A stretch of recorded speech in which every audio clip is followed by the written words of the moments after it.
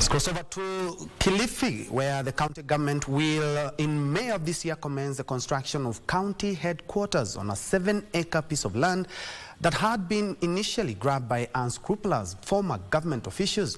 According to Governor Gideon Mung'aro, the 500 million shillings project will cut down funds used to rent offices by his administration as well as increase service delivery of the Kilifi County headquarters comes in the wake of a land ownership dispute pitting the current county administration against former government officials who allegedly hived off three acres of government land at Mabirikani area in Kilifi town and constructed private homes. Some of the land which also have title deeds, it's so embarrassing.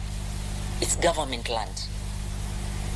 Somebody has a title deed ambayo ni ardhi ya serikali how did this person get in touch of ardhi ya serikali? Ni nani alimpatia ardhi ya serikali?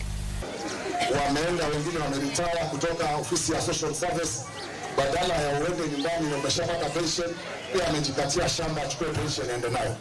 Wametukataza hata kufunga fence hospitali ya Kilifi, wawapeleka kotini, na shamba ni ya umma, ni wafanyakazi wa kaunti na wameiba shamba ya umma. Kilifi Governor Gideon Mongaro assured victims caught up in the land ownership wrangle of compensation. Wale ambao wamevunjiwa vibanda kule ambao tunajenga baba za lami watalipwa, pesa ziko za kulipa.